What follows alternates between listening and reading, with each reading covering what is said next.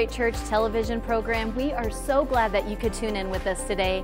Pastor Jeremy is teaching on building a strong foundation, such an imperative message for us as Christians as we build our life on the Word of God. We're heading into the sanctuary now with Pastor Jeremy File. A righteous man turns from his righteousness and commits iniquity. Ezekiel said, All his righteousness will be forgotten. If you take that through the cross of Jesus, you meet, you meet Jesus and you say, Wow, you cried tears. What a wonderful name it is. Wow, what a saving that you would deliver me, saving grace you've given me, forgiven me of so much sin. What mercy I've found. But then if you start despising that, you let that slip, you go back to the world. You take that same verse through the cross of Jesus. Jesus doesn't say, Welcome to my heaven, rebel. You might have once been a rebel, but you got to have a turning point. I don't know about you, but I reached a turning point in my life. I reached it. I reference it a lot. If you've been here more than once, you've heard it over and over. You get tired of it, I understand. But 2006, I reached a turning point. I reached a turning point listening to a simple radio audio drama called Affabel. It was interesting because there were people that worked in church in this, and this is an audio drama. I played it on the radio even. As I listened to it, I related to a man that served in church because I've served in church a lot longer than I pastored. And you know what I found out? That man went to hell. And it struck me, it just cut me. For some reason, listening to that, it just cut me. See, we all have a story. I remember Josh, he was watching Jesse Duplantis talking about his vision of heaven. It just cut him. I, I don't know. God has these appointments in people's lives. You never know what it's going to be. Because see, other people could watch that vision of heaven and never be like, oh, that's just baloney. That's, that's just that man's vision. So other people have heard the audio drama and like, oh, that's it. For whatever reason, I was in that moment. And it cut me. I said, I've been in church. I'm a preacher's kid. I know the word. But I'm not serious about my relationship with God. I reached a turning point. That's why I'm walking in God's call in my life. But guess what? I'm not the one that lined up my body and framed myself and made my own call. My mom didn't call me to this. My mom and dad trained me in the way I should go. That's what every Christian's supposed to do. But you don't determine the call on your own child. Someone had asked me that, you know, are one of your boys eventually going to take the church? I said, you know, I don't even know that either one of them are called to. Oh, excuse me, all, any of the three. I don't even know that my, my girls will marry someone that's called to. I have no idea. Not at this point. When the Lord wants to reveal that, He'll reveal that. Thankfully, I got a few years between now and then. Yeah. But here's what I do know if the call's on them, the call's on them. But I'm certainly not going to be forcing it because I can't force it. I think that's one problem we might have in America. There are a lot of people in the pulpit called by mama, not by God. That's probably a problem we have. Well, mama said I was a good preacher. Well, mama may think you're good, but mama didn't frame you. There's one that framed you. I sense the Holy Spirit on this so strong. When I was made in secret, and skillfully wrought in the lowest parts of the earth. Verse 16, your eyes saw my substance. Somebody says, I, I think a woman has a right to abortion. I don't because of these verses right here. Your eyes saw my substance. See, some, tried telling my, somebody told my wife this recently. You know, uh, I don't remember the, what do they call it? They're just embryos. They're just, they tried to reduce it, you know. They're not people. My wife wrote this lady and said, Oh, you know what? This is what I started to tell you a while ago. I, I unfortunately had a baby prematurely. How many weeks along were you? 12 weeks. I, myself, Pastor, and Aaron, held that little baby boy right there. I couldn't tell he was a boy, but we, we just had a feeling it was. You could see 10 toes. I'm talking, he, he took up this part of the digit on my finger. Don't you tell me there's not a God. Well, it's just a blob of tissue, it's just biology. You are a humanist and need to repent. The Lord's eyes saw my substance being yet unformed. And in your book, hmm, they are all written, were written. The days fashioned for me. Look at that. The Lord knows you better than you know you.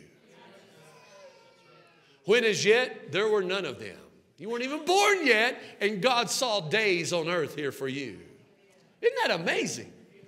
What are you talking about, Pastor? This is foundational to you understanding where we're going in this. See, if you don't understand that God is involved in the creation of a human being, I might as well just stop with everything else I'm going to say. This is the very foundation of who we are, why we exist. The Lord formed us. People say, well, it's just mom and dad. No. God has a plan for your life. That's what this says.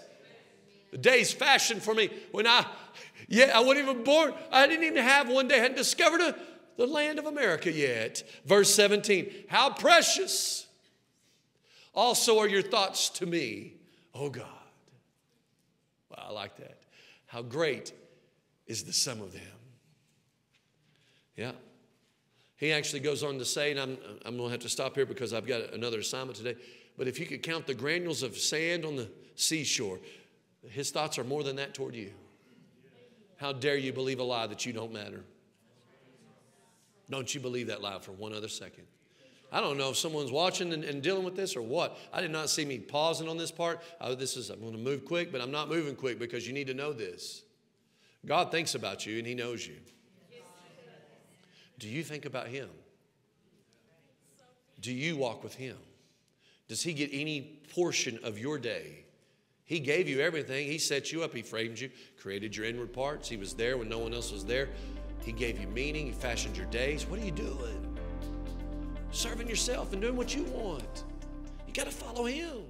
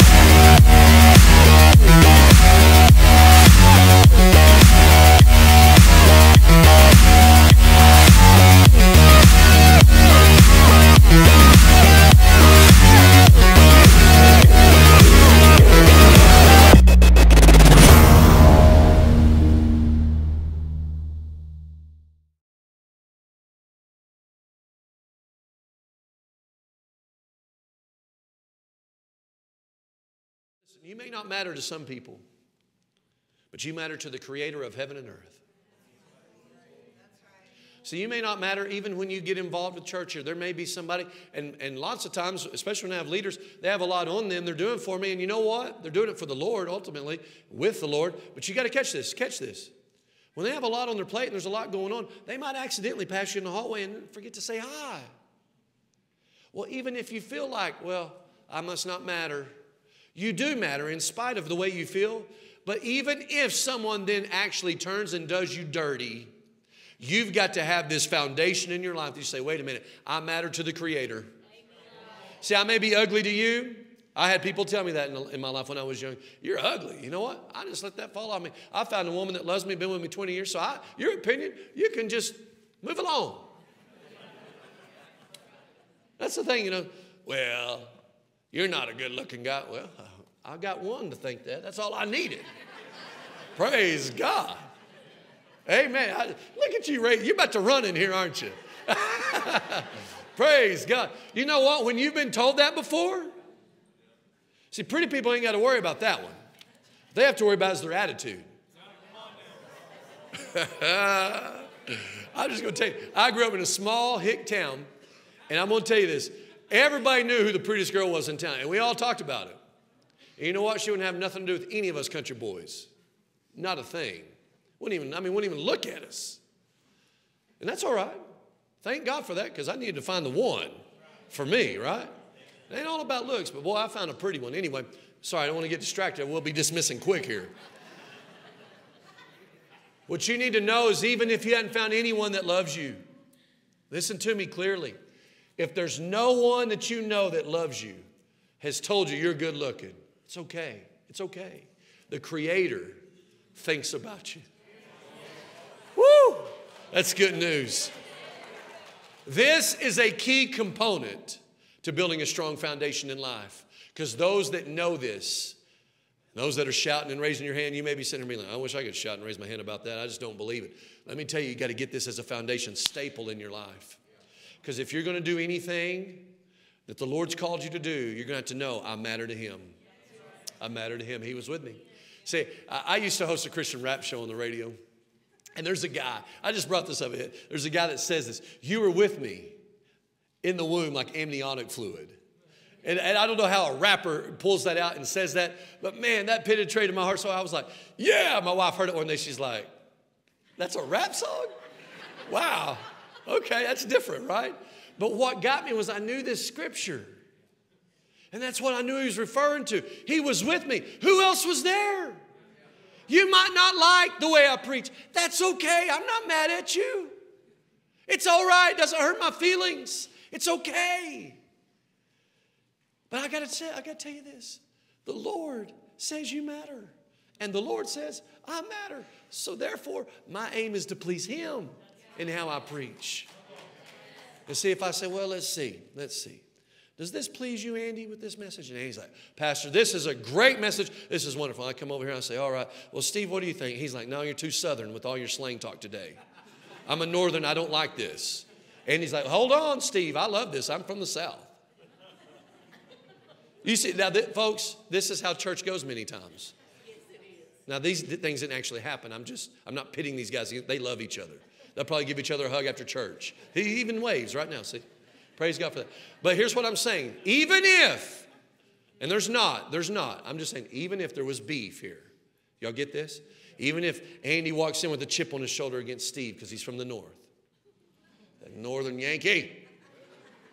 Better watch yourself, right? You can't come in with it. But even if that happened, Steve doesn't need to let that hold him back from praising God. Well, Andy over there, and he's even an usher. He's wearing that suit all the time. I just tell you what, he just don't even like me. He has a chip on his shoulder. This is what happens, see. And you lose sight of who is it that thinks about you all the time. we were having a, a family discussion last night, and my wife said this, and I think it's really true. You know, people aren't thinking about you near as much as you think they are. That's just true, you know. Some people, they have beef. They, they actually let bitterness in their heart. They, they, they're all, they're mad at me. They're all, and it's like, man, we hadn't even thought about you in a while, bro. I mean, we got so much going on. I'm sorry. I'm not over here like, I got beef with that guy. I ain't got beef with nobody except the devil. We're in a war. There's an enemy loose. And he knows what I'm telling you today is the truth. He knows Psalm 139. Do you know it? That God is thinking about you, that He created you, designed you, fashioned your days, put a call of God on your life. People, I mean, come on. I was so shy. I was like, no one would ever want to hear me talk. I ain't got nothing to say. But here you are sitting here. Why? Because God's orchestrating this. That's why. That's why. Wow. It's amazing to me. Go to 1 Corinthians 3. I got lots to cover and no time to cover, really. We're pretty much out of time. But go to 1 Corinthians 3. We're going to look at this set of scriptures. And the good news is we can always gather back around the word Wednesday night. Amen. 1 Corinthians chapter 3. Say one more time, thank God for the word. For the word. Says, And I, brethren, could not speak to you as to spiritual people but as to carnal, uh oh, as to babes in Christ. Look what he says in verse 2, 1 Corinthians 3. That's where I'm reading. I fed you with milk and not with solid food. Now, you know, milk is good if you're an infant. But once you grow whiskers on your cheek, it's time to get some solid food. Might as well smile. Said, I fed you with milk and not with solid. The reason I bring that up, the Holy Spirit is inspiring this talk and this writing. And he's talking to men and women like adults. I mean, just think about that. So the Holy Spirit is saying, I fed you with milk, not with solid food. Well, what a dirty, dirty shame. It's a dirty shame to be an adult and you're still in the milk. He says, For until now, you were not able to receive it. And even now, you are still not able. I know you're sitting here, what does this have to do with foundations? Let's keep reading. Verse 3 You're still carnal. For where there are envy, strife, and divisions among you, are you not carnal and behaving like mere men? Folks, the church is notorious for the beef and the strife that goes on and the division inside the church. And I have worked hard and will continue to work hard to fight that in this church. But we're not automatically immune just because we love the Lord and want to follow the Lord. It's easy for strife to break out. So you got to have a real shepherd that has real authority that he's delegated to under shepherds under him that help keep you the pebbles out of your hooves. And some people, you know, it's like they come to church and they, they're the ones that they leave all their pebbles out. Uh, I was at my parents' house last night for a minute, and when I left, my kids have left a bunch of rocks right on the sidewalk. I thought, well, that's how some church people do. You got to clear the path so you can walk down that clear path. Okay. Didn't like that example. It's okay. I didn't either. Just know this where there's envy, where there's strife, where there's divisions among you. You're carnal. You're behaving like mere men. Go ahead and make this statement. Say, I'm not, I'm not a, mere human. a mere human. You're not. You're not. You're a new creation in Christ Jesus. Yeah, this is foundational. I know. I've heard that before. You need to hear it again. You got to have a strong foundation. Aren't you glad your foundation doesn't move? It's your home. Even though it was poured there and it's been there and it was there yesterday, it'll be there again. See people, I've heard that before. You need to hear it again. You got to keep building on that. Look at verse 4. For when one person says, I am a Paul, another says, I am of, of a Apollos, excuse me. I did that on purpose, it was kind of lame. Are you not carnal? You're carnal.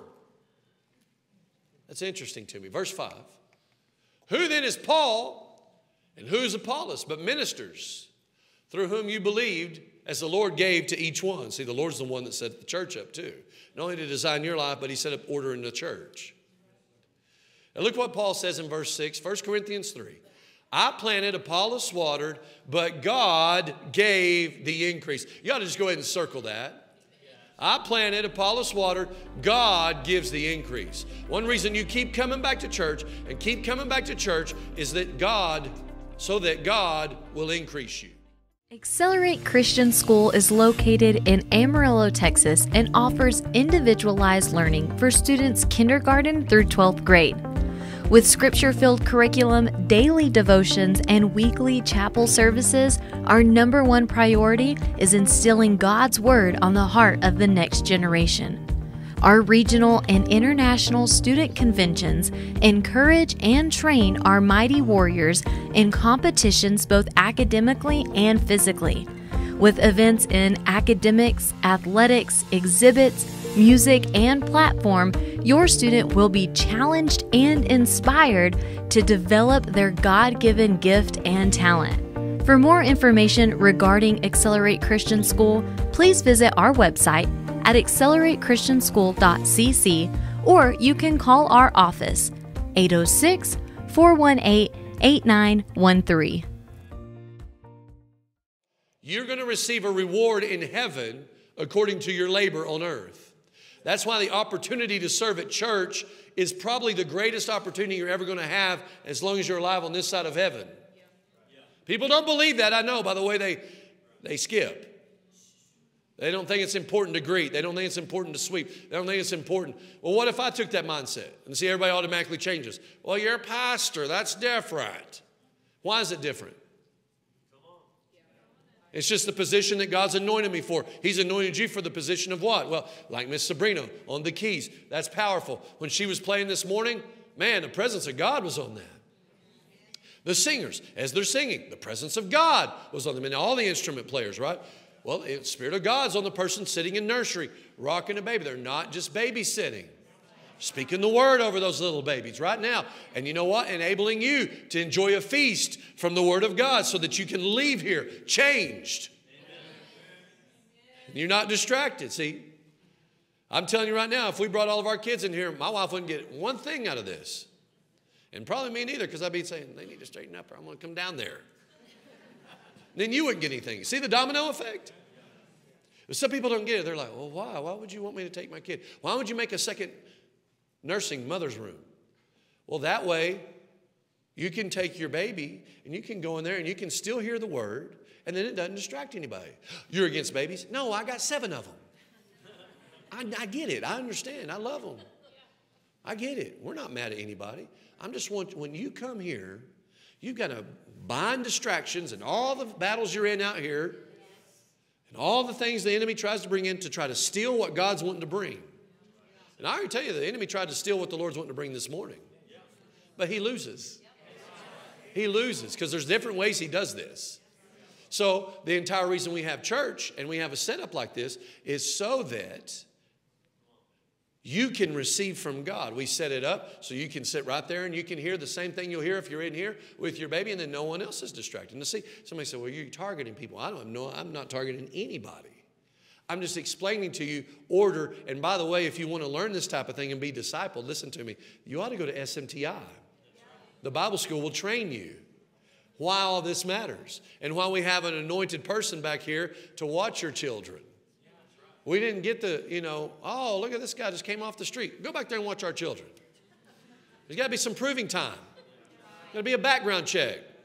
We're not idiots, right? Wise as serpents, harmless as doves. Come on, somebody, this is the gospel. This is foundational. He who plants and who waters are one. I, I, this is my point. The person back in the nursery and me, we're operating as one team. We're not on opposites. I don't got beef when I walk by the nursery. Oh, that, that person's in nursery today. I'm thankful because they enable me to walk in my position more effectively. That's how I got off on all this. Right? Are you following this? I didn't hurt anybody's feelings, did I? I certainly wasn't trying to. I'm just showing you this is God's idea, the local church. It's God's idea. Okay. Each one will receive his own reward according to his labor. So that means if you're a greeter and you show up, mint in your mouth, hair combed, excited, ladies have just a little, at least dab of makeup, you know, a smile on your face, you brushed your teeth, you got meat hanging on your teeth. and you show up ready for, you know, to give your supply, Every soul that's ever touched to this ministry, whether it's by television, maybe it's by radio way out in Bakersville, California, you'll never come across that person. But because you enabled me to flow in what God's called me to do here, and we worked as a team, God's able to touch someone all the way, 1,500 miles away. And the reward in heaven is going to be yours. God's going to reward you for your faithfulness like He's going to reward me for my faithfulness. That's God's system. Isn't that beautiful? That's foundational to understanding church. Now, in this series, I want to go off like a shotgun, as you can tell, but a lot of things I'm touching on are all foundational things. See, some people know, I, I don't believe in organized religion. I don't like the church. I've been burned and hurt in church. I know, so have I. I've been burned and hurt in church. Some people, what? But you're pastor. You talking about this church? Not necessarily this church, but yeah, this church. Ah, I've been told people, you know, Pastor, I'd be willing to give my life for you. Man, you don't have to do that. I never asked you to do that. Wow. Those are big words. Give me a hug. Praise God. Love you. Less than a month later, Pastor, I need to come meet you. Okay. Turning all my stuff in. The Holy Spirit told me to leave. Well, where are you going? Home. And you think Pastor didn't get burned by that? Toasted like a cheap toaster that you bought that burned your toast up, right? Just phew, toasted, burnt. Don't smell good, don't feel good. Well, what am I going to do? Well, I quit. I'm out of here. What if I did that? I'm going to stay on post, not let people move me. People didn't call me, God called me. People didn't form me, God formed me. Woo! I feel the Holy Ghost on that. Because why? If you'll get that as a foundation in your life, even when people toast you, you won't sit there all bitter. Instead, you'll be like, thank God he's not finished with me. Thank God he's the one that formed me. Thank God he's the one that thinks about me. Thank God. He's the one that's going to reward me. You got to understand your rewards are coming from Him. Your promotion comes from Him. Your prosperity comes from Him. Your abundance comes from Him. Your next breath comes from Him. I read all that to show you this. Verse 9, I like this. For we are God's fellow workers, and you're God's field. But look at this, look at this, look, look, look. You are God's building. You're God's building. God doesn't build junk. If you're having a house built, you're going to want a good builder, right? I would. Well, this is why you got to get this because God is your builder. He's building you and you're his building. You've got to get rid of carnality. You've got to get rid of strife. You've got to get rid of envy and divisions. That means even this afternoon, once we dismiss, if there's someone that you need to forgive, you forgive them. And that doesn't mean you walk up with this hypocritical, I forgive you for what you did to me. Because then that person's like, what did I even do? I mean, I, I get those reports all the time. Man, Pastor, so and so, they said they're thinking about leaving. And I'm like, well, what happened? Like, I'm over here just perplexed. I didn't do one thing that I know. Anytime I ever see them, I'm like, how are you? Good to see you. Love you. Hug you. I'm like, I don't, what, what is going on? And every time, well, it was something you said, something you did. Kind of like that one when I said, you know, you sit here all sour and, and I've had people that, well, he was looking at me when he said, that's why I keep looking at those cameras sometimes. I'm not looking at you. I don't know you're mad at me. I don't know you're struggling. I don't know all those details, okay? I just know what the Holy Spirit's saying. And He's working with all of us because He wants us to grow up. And He wants to build something great out of our lives. We're called God's building. How dare you spit on God's building? How dare you say, God, this is ugly? Maybe your life is ugly, but that's because you've been building on the wrong foundation. These carnality, strife, envy, divisions are pollutions in your foundation. You got to get rid of them. You got to get rid of them. If you're going to build a strong marriage, you got to get strife out. Once again, thank you so much for tuning in to the Accelerate Church TV program. We're so glad that you could join us today.